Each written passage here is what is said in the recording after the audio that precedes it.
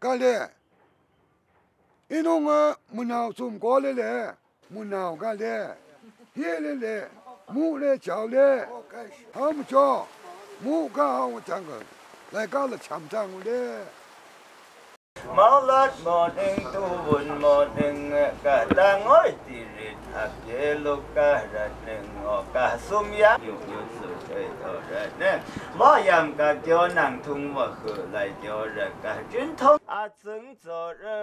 举办木脑纵歌的前夜，董萨念祭词时，要在祭台上放置盛水的竹筒。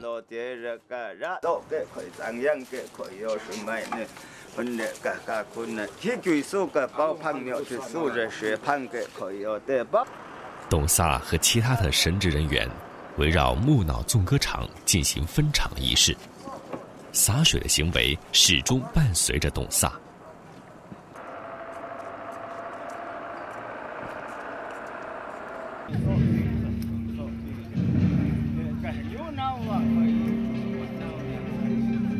举行木脑纵歌的早上，要用牛来做牺牲。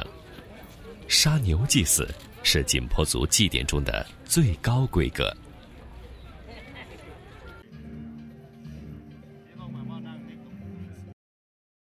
据史料记载，中原地区很早就有了用舞蹈来祈雨的活动。若国大旱，则率巫而舞鱼。鱼字就是古代祈雨的一种舞蹈。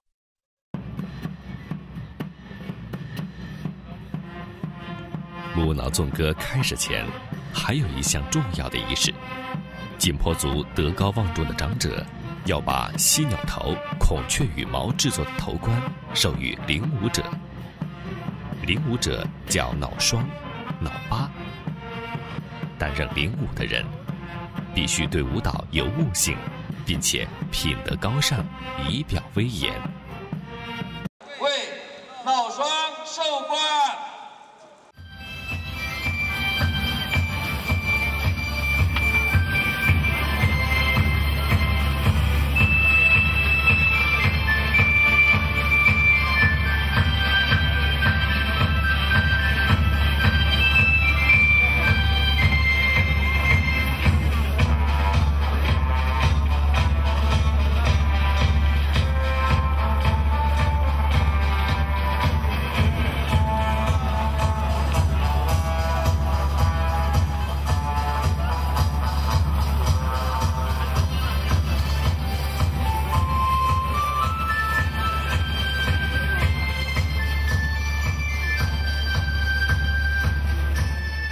为什么领舞者要戴鸟冠、插鸟毛呢？《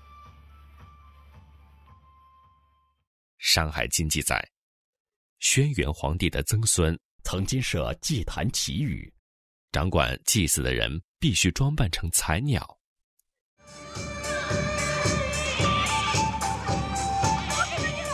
祈雨说法认为，古代以鸟为图腾的景颇部落常常举行大规模的抗旱祈雨仪式。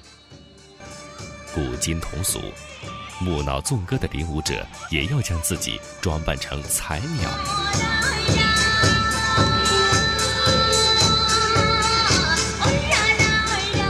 祈雨的说法还可以找到相关的证据。大鼓是对雷霆的模拟。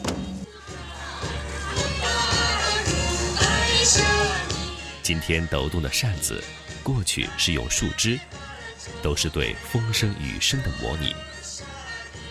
女人们肩膀上的银炮的响声，代表刮风下雨的声音。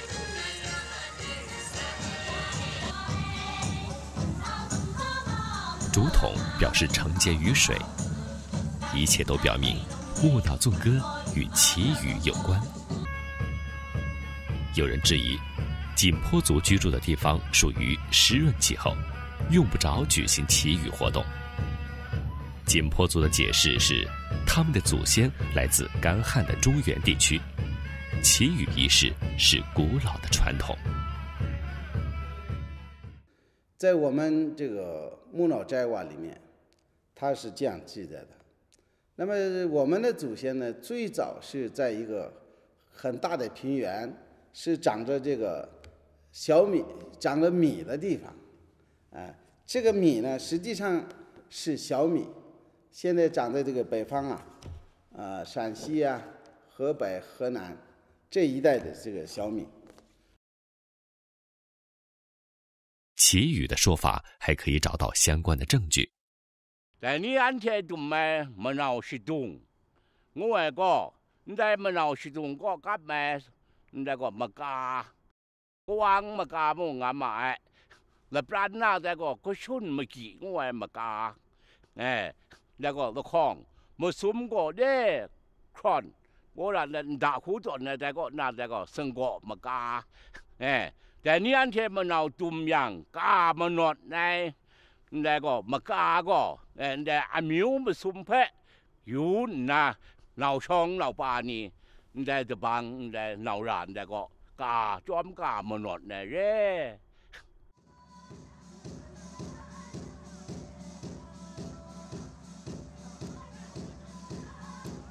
奇怪的是。为什么景颇族要按蕨类植物的形状来跳舞呢？木脑石洞上的蕨芽纹和回形纹，古代称云纹和雷纹。仔细观察，不难发现， 两者之间可以互变，合起来称为云雷文。《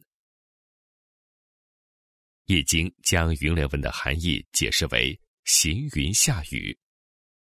云雷文曾经大量的出现在中国各个时代出土的器皿之上。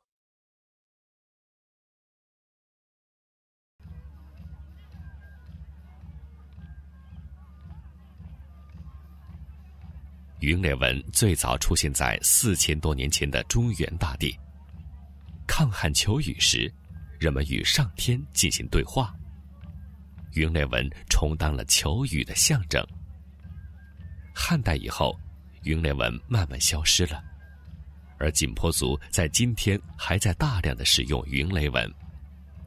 景颇文化为什么与先秦时期的文化如此相似？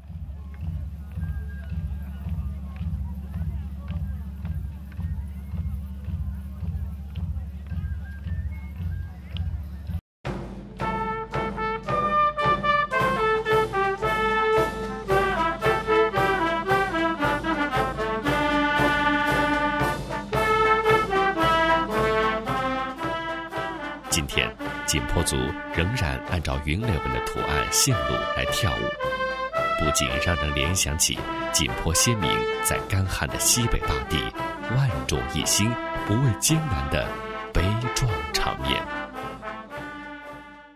其实历史上，景颇族跳的木闹有很多种，一种是专门祭木呆神的，叫做占木脑；一种是祈求五谷丰登的，啊，这个什么呢。